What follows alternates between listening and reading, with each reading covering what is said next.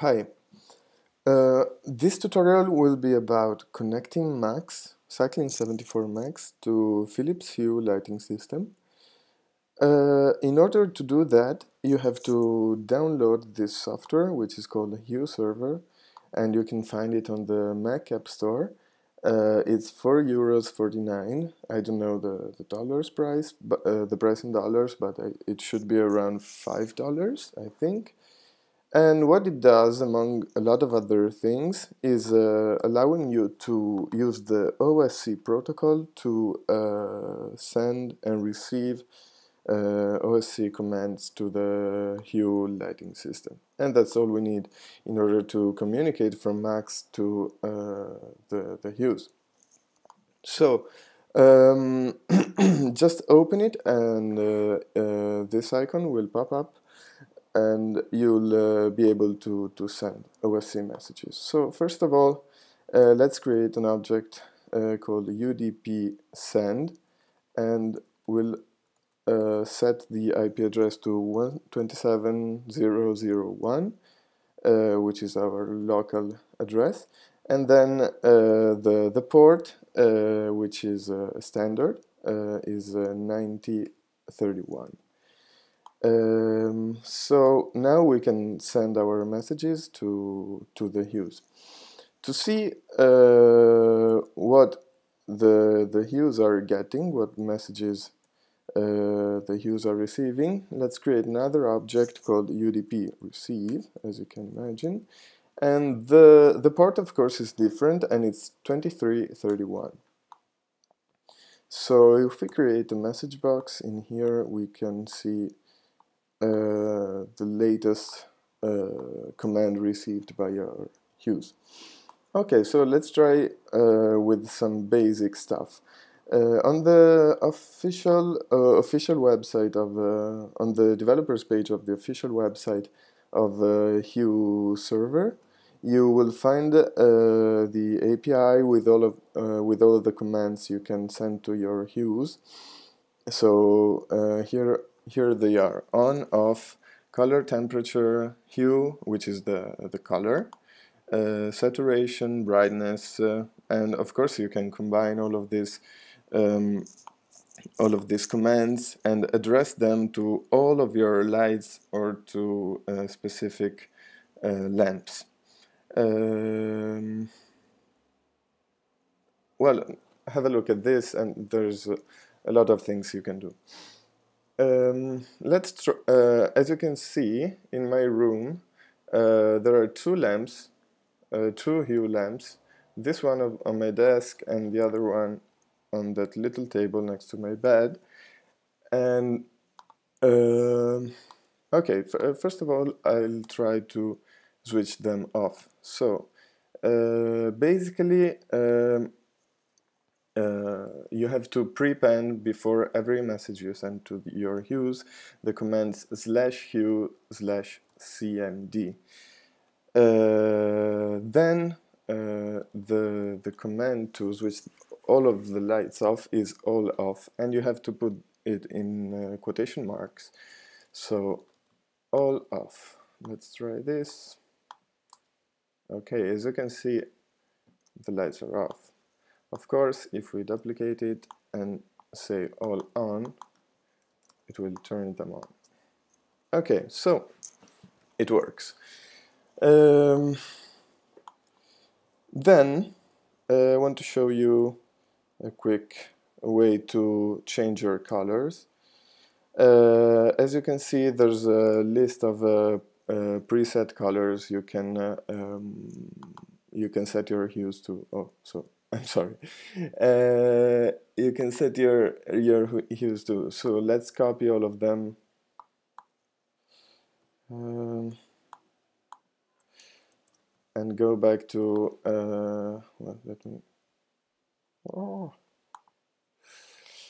Um, okay, so let's create a umenu and uh, in the inspector we go to edit menu Uh, items and we paste all of the colors we just copied.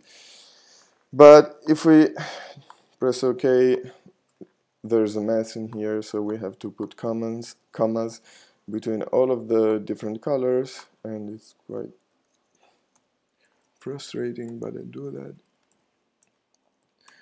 So red orange yellow lemon green turquoise minty aqua sky blue oh, uh, blue purple violet magenta pink, white, warm white, cold white, working, relaxing, concentrate, reading, candle, sleepy white, I think, and romantic lights.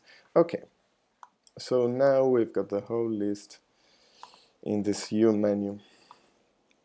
Um, to in order to uh, assign these colors to the um, to the hues, we uh, have to use the second outlet, we, uh, which is the menu item text evaluated as a message, uh, and I think that's enough.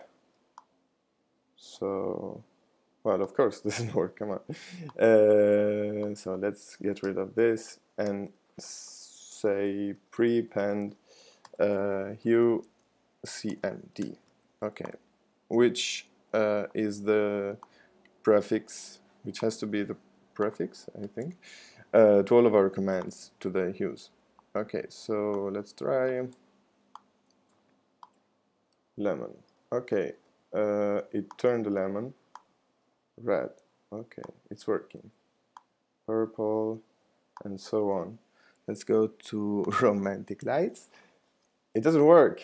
Come on. Ah, okay, I know why. Okay, this is uh, interesting because uh, it's sending two words and uh, uh as we can see from here, uh, no, wait, no, uh, well, we have to um, transform this text into a symbol. So we have to use this uh, I, uh, this object in the middle of our um, uh, message. Oh, well, what it basically does is putting come on is putting uh, okay here they are uh, quotation marks if there are two words or more so uh, as you can see Sleepy White is now working as well as romantic lights and warm white. Well, they're mm, all similar, so maybe you can notice the difference. Sleepy white. Okay. So uh, this is pretty uh, easy and um, it's really useful. Uh, but there are a lot of different um, commands we can send. So let's uh, try to change the color with the slider. So the the the color function is uh, uh, in order to change the color we have to insert a, uh, uh, an integer number from 0 to 65,535 uh, um, and in front of the number we have to say h uh, colon and if we want, uh, I mean, if we just send this message, uh, we will change the color of all the lights active in our hue system. Uh, but if we change, if we put, if we prepend the the name of the light we want to change, followed by a, a colon, it will change the color of just that light, of course. So let's try to do this. Uh, we'll uh, create a new slider, and in the inspector, we will uh, insert a range of 65,536 because it goes from 0 to uh, 65,535. So we'll make it a little bigger. And uh, let's see what it outputs. This should be fairly simple. Okay from 0 to 65 535 okay. And then we say um, prepend uh, h uh, colon. And and then we send this to uh, our to symbol uh, even if it's not necessary but we send it there anyway. And now it's changing the colors. I'm changing the colors with this slider. Um, okay so one thing we can do is uh, automate this process of changing the colors using uh, a metro object. So uh, we create a metro 1000 what is this? Toggle to uh, enable it. And then random uh, 65536 okay because it goes from 0 to uh, 535 and okay. Of course we can uh, put a live.dial or whatever to change the the tempo. Huh. Okay this happens sometimes. It just disconnected for a moment but as you can see it's still working and changing the light colors. Okay wait a moment. Wait let's change color okay.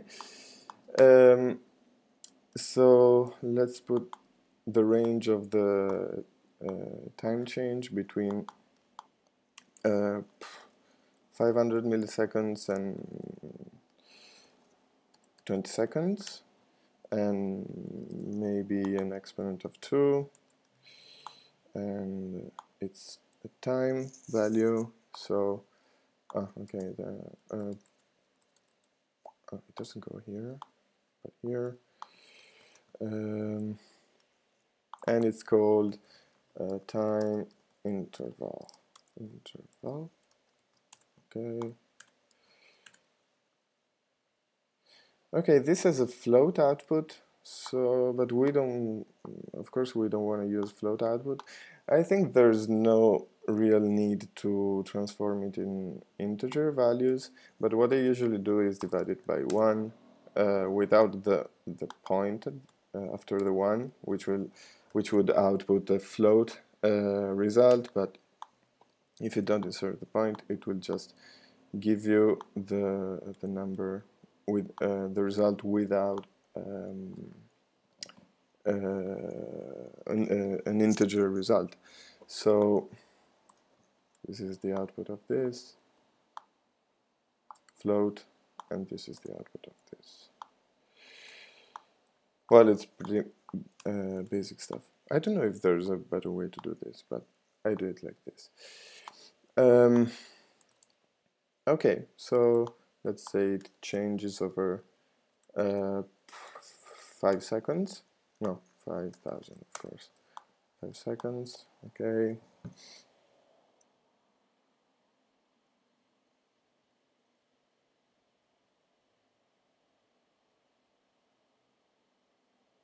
hmm I probably changed this uh, before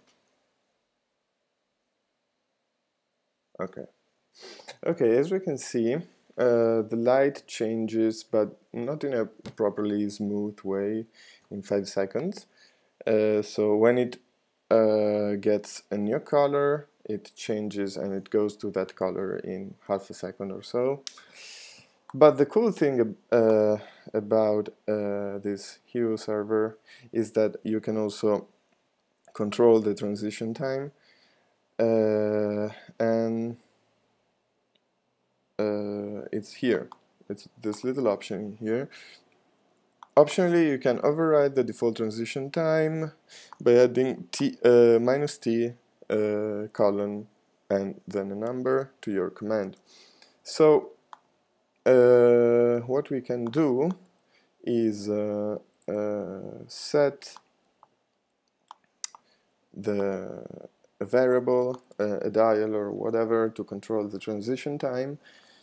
And uh, let's create another live.dial uh, oh, in the inspector. Uh, we, we call it uh, transition time transition time. And well float uh, float out no let's say it's an integer and it goes from 0 to 127 would be okay. Uh, it's not in seconds. Uh, it's I don't know. I don't think it's a uh, it's a unit of a particular kind. Um, initial enable let's say 5 which I think is the default or 7 is 7 maybe is the default value. Uh, exponent 1 let's say 2 okay. Transition time. Okay. Uh, so we have to um, prepend to this value minus t colon okay. And then this message this new message will have to uh, go after th this message the the color message. Uh, how do we do that? We just prepend uh, append uh, to this come on. This. How do we do that? By telling it to no prepend set. Prepend set. So what's happening is that um, this append object uh, appends what this object uh, the, is set by this prepend uh, object uh, which prepends no which we, uh, well I mean it works you see that. Um, so just to let you see what's happening. I think it works. I'm not that sure. So transition time well let me do this. Okay. If we put it 0 as you can see the LED is changing in a, in a moment.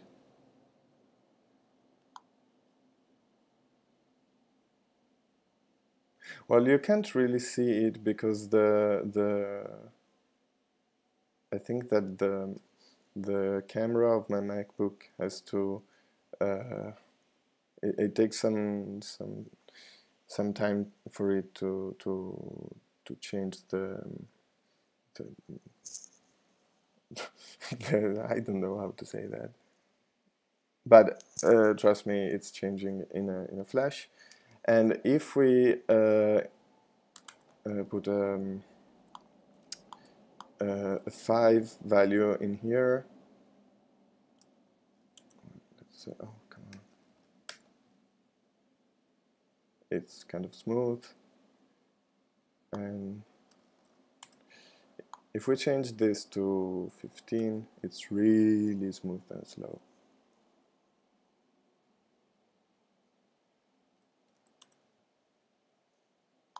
Okay so uh, well there are a lot of other uh, things you can uh, edit. The the saturation is really cool and uh, the brightness as well it's really it's really helpful. And color temperature and of course you can combine different uh, commands together. Just have a look at this uh, Hue server um, because it's really helpful together with Max so thank you for watching and have a nice day